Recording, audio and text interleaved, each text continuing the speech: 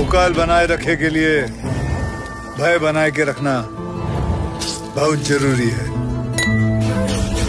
catch